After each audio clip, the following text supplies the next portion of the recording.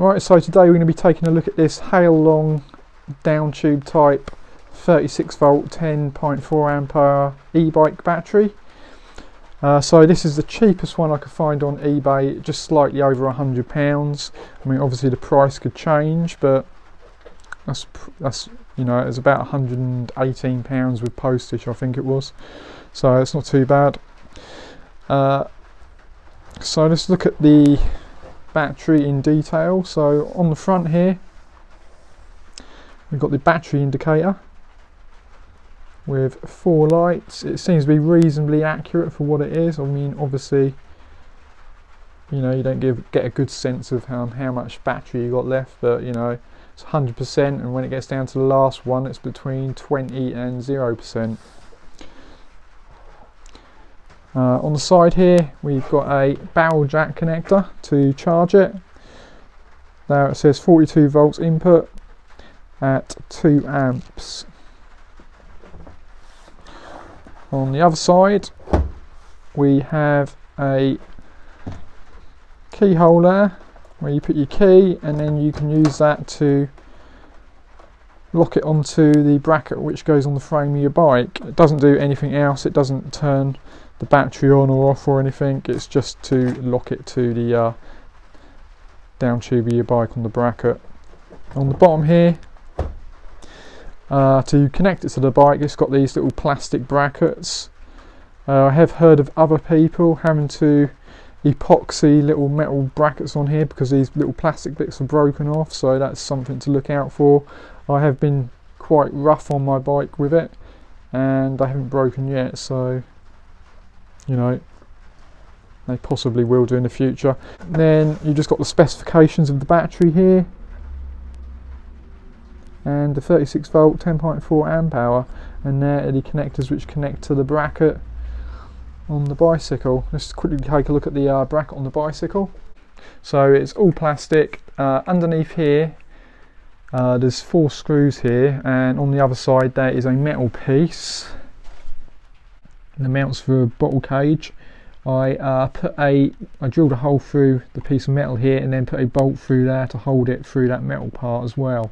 And then also I uh, added two extra um, bolts up here which I had to uh, drill through into the frame and then I tapped those holes and then put some bolts in there to make sure it was really sturdily mounted because I have heard of people with these uh, with just the two mounting points just completely rip off through the plastic because there's no metal on this up the top here whatsoever. So that's one thing to consider for with.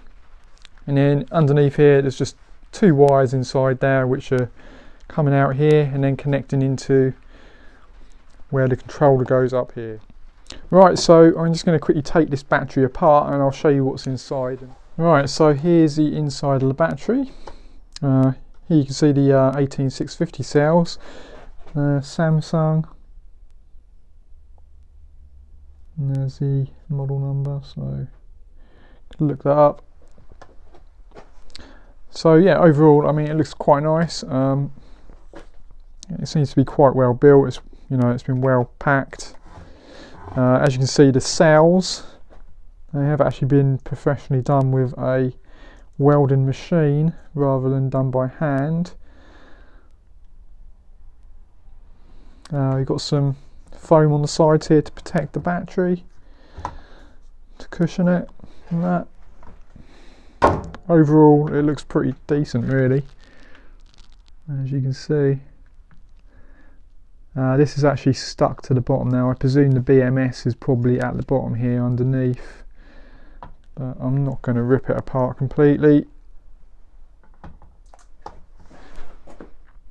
I would like to, but uh, yeah, then it'll completely void the warranty then.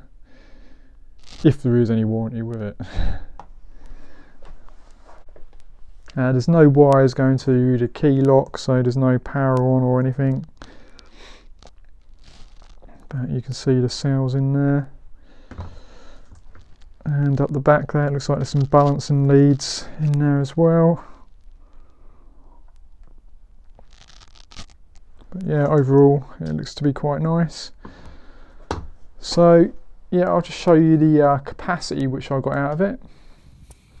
Right, so here you can see I got 25.48 miles range and um, I didn't completely run the battery out, it was nearly run out, it was on the last bar and I got 9.657 amp hours.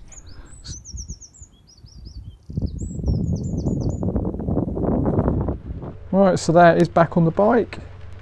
So what I'll do is I'm going to cycle this battery a few times, you know, probably about 30, 40 times and then I'll get back to you and make a update video on this in the future. But overall it looks to be pretty good. I mean, it's got Samsung cells in there. They look like they are definitely real ones. The capacity checks out to the uh, what the listing say, says it is. Obviously I didn't run it down fully there, but you know we're nearly up to the 10 amp hour mark so yeah I mean overall it looks to be pretty decent you know for the money so I'm, I'm pretty happy with it so far but like I say I will make an update video so yeah please make sure you check the links in the description. Uh, be much appreciated. Uh, also uh, yeah please comment like the video subscribe hit the bell icon. It would be much appreciated. And yeah everybody take care. Thanks so much. Bye